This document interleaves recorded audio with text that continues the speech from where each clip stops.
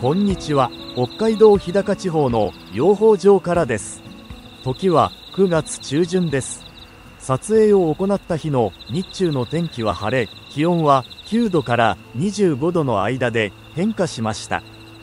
昼間は真夏のような暖かさですが朝と夕方には秋の近づきを感じさせる冷え込みです。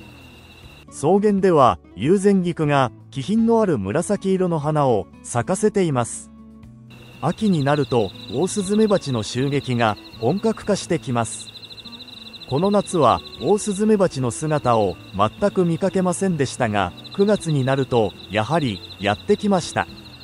オオスズメバチは数頭から時に数十頭の集団で襲ってきて養蜂場に甚大な被害を与える場合があります。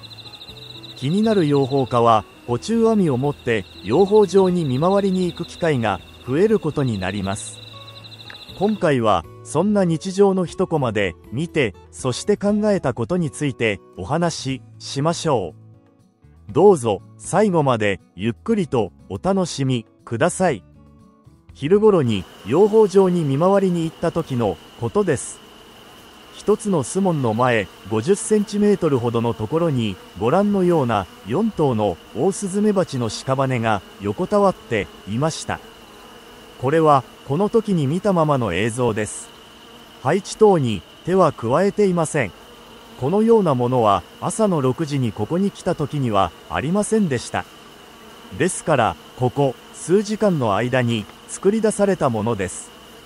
ちなみにスモンはご覧のナイロンネットで保護されているためにオオスズメバチはこれ以上スモンに接近することはできません。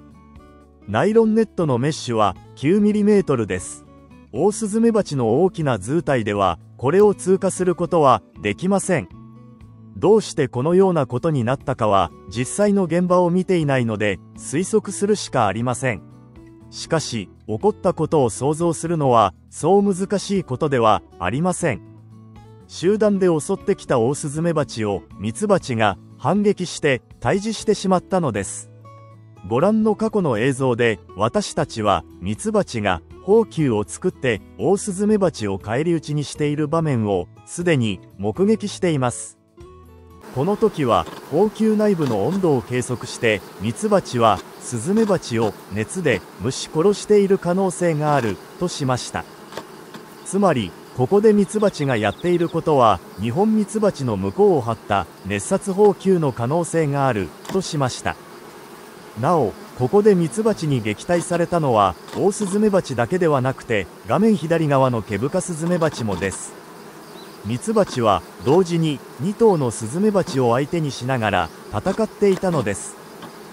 今回もミツバチがこれらの4頭を蜂球を使ってやっつけてしまったと考えるのが妥当でしょう。それ以外のことはちょっと思いつきません。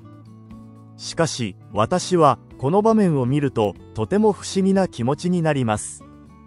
それはなぜでしょうか？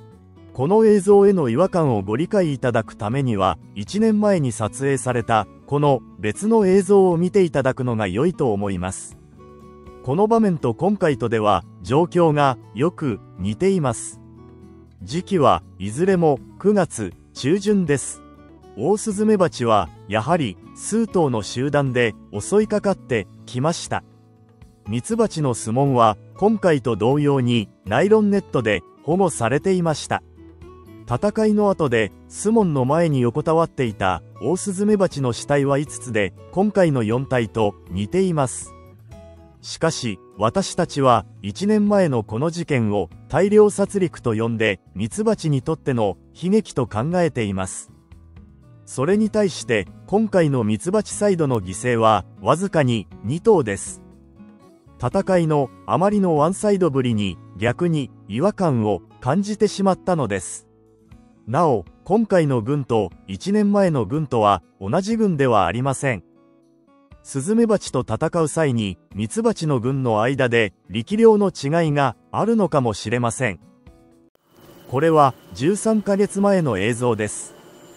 ここまで紹介してきた3つの軍とは異なる第4番目の軍の質問前の風景です。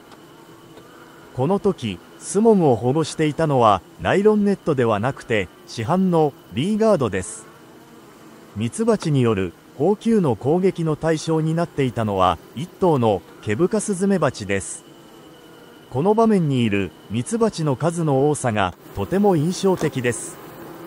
ミツバチは数百頭で1頭のケブカスズメバチの退治に取り組んでいました。これは戦いが終わった後の相撲前です。やはり手は全く入れていません。真ん中に横たわっているのが退治されたケブカスズメバチです。ここではミツバチサイドの犠牲は全く出ていません。再び17日前の映像です。先ほど13ヶ月前の映像では1頭のケブカスズメバチ退治に参加したミツバチの数を数百頭と申し上げました。しかしこの場面で2頭のスズメバチ退治に参加しているミツバチの数はそれよりもはるかに少ないようです。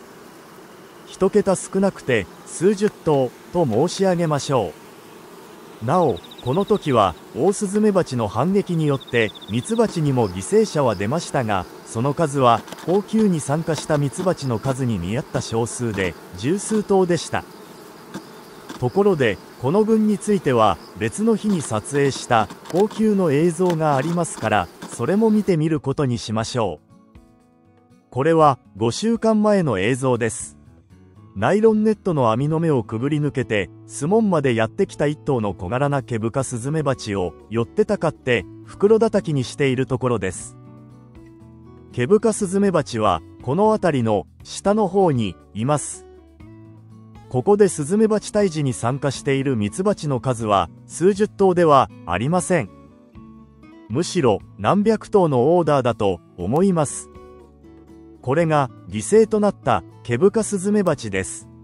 補給が解けた後に出てきました。今回もミツバチの被害は出ていません。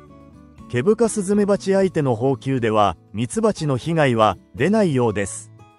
同じ群の放給をもう一つ見てみましょう。これは9日前の映像です。放給を発見した時点ですでにピークの時を過ぎていましたがピークの時でも数十頭規模の放給だったと思います。ここで撃退の対象になっているのもオオスズメバチとケブカスズメバチとがそれぞれ1頭ずつです。ミツバチの側にも放給に参加した個体数に見合った何十頭かの被害が出ています。以上昨年から今年にかけて養蜂場で観察されたミツバチとスズメバチの戦いについてまとめた上で今回発見された4頭のオオスズメバチの死体について改めて考えてみるとその特異性が際立ちます。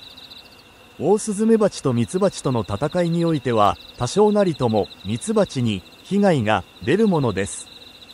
被害の程度はオオスズメバチが単独で襲ってくるのかそれとも集団で襲ってくるのかによってかなり違うようでした。オオスズメバチが単独の場合には被害の程度は何十頭というオーダーであったと思います。しかしそれが数頭の集団による攻撃になると被害の程度は桁違いになりました。しかし今回はオオスズメバチの攻撃は4頭の集団によるものであったにもかかわらずミツバチの被害はわずかに2頭でした。ここにはミツバチにとっての何か特別な好条件が作用したのかもしれません。そう思いたくなるほど不思議な光景でした。なおオオスズメバチが集団で養蜂場にやってくる場合には巣箱の中に侵入してその中にあるさなぎ幼虫蜜を奪い去ることが目的です。しかし彼らが巣箱の中に入ることは不可能です。彼らは体のサイズが大きいために巣門を通ることができないのです。同じ理由から巣門を覆っているナイロンネットを通過することもできません。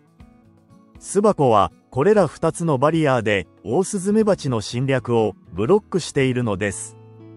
前に進めないオオスズメバチがもたついているとそこにミツバチが絡みついてきてついには殿下の宝刀の方球を抜いて退治してしまうのです。自然界ではおそらくこれとは異なることが起こるでしょう。なお、西洋ミツバチの放給に関する取りまとめの考察は昨年の10月の動画でも行ったところです。これからも観察事例数が増えるに伴って定期的に取りまとめの考察を行っていく必要があるでしょう。